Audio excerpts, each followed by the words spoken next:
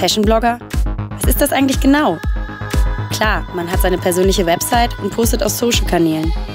Hinter den ganzen Posts steckt aber die Arbeit von nicht nur einer Person, sondern die einer Bildredakteurin, einer Stylistin, einer Strategin, eines PR-Agenten und einer Projektmanagerin.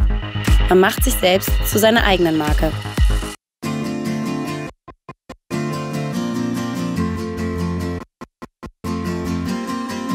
Also das Tolle am Blogger-Dasein ist natürlich eben wirklich, dass du viel unterwegs bist. Du reist wahnsinnig viel.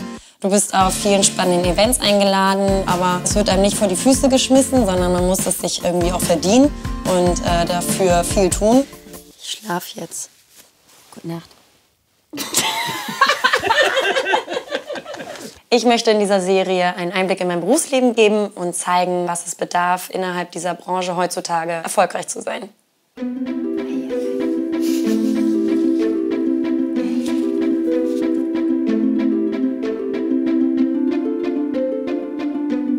Kaum verändert. Also die künstlerische Eingebung hat sich schon in frühen Jahren geebnet bei mir. Oder aber, was ich auch sehr schön finde, ist meine Stilsicherheit in jungen Jahren.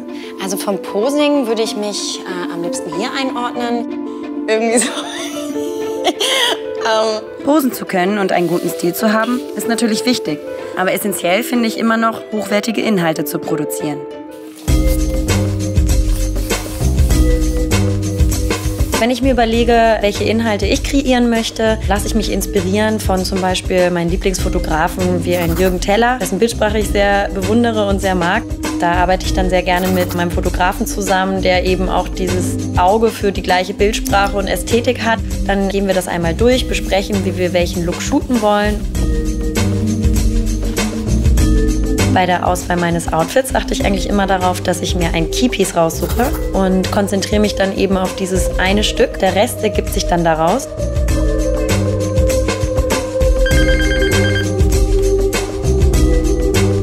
Bei dem heutigen Shooting habe ich mich für die Mars entschieden als Fotograf, weil er eigentlich eben auch aus der Moderichtung kommt und sonst auch gar nicht so viel mit Influencern oder Bloggern zusammenarbeitet und wir dadurch die Möglichkeit haben, neue Inhalte zu kreieren.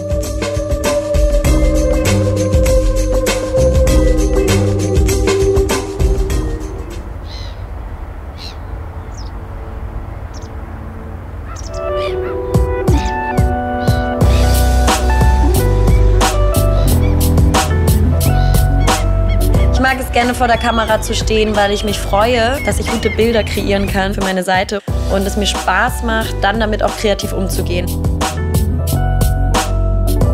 Man muss sagen, wenn man anfängt, dann ist das, glaube ich, ganz normal, dass man sich ein bisschen unsicher fühlt. Man weiß nicht ganz genau, wie man sich positionieren soll. Auch zu wissen, welche Bildsprache will ich da bedienen und wie muss ich mich dazu hinstellen. In der Funktion bist du ja eigentlich fast wie eine Art Model. Am Anfang war mir das auch ein bisschen unangenehm, aber mit der Zeit lernt man, so wie man alles lernen kann.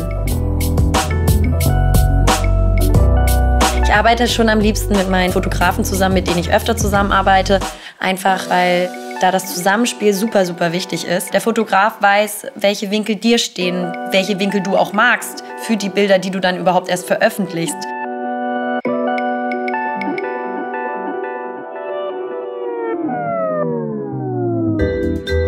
Nach dem Fotoshooting hört das Ganze natürlich nicht auf. Nein, danach geht es an die Bildbearbeitung und dabei ist mir natürlich auch Professionalität extrem wichtig.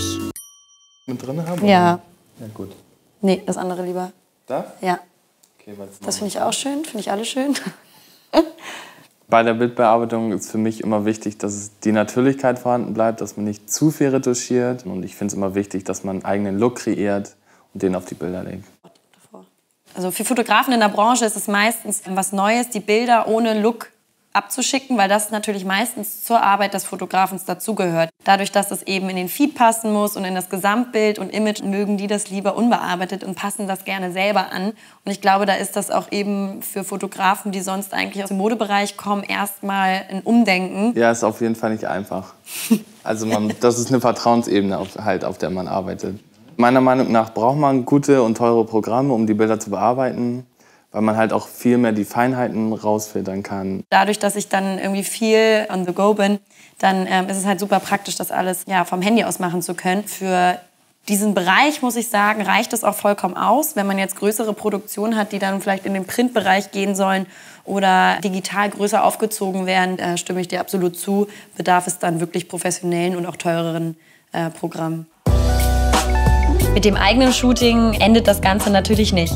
Der richtige Spaß fängt erst dann an, wenn man auf Reisen geht und mit Marken im Ausland oder in anderen Städten schöne Projekte umsetzt.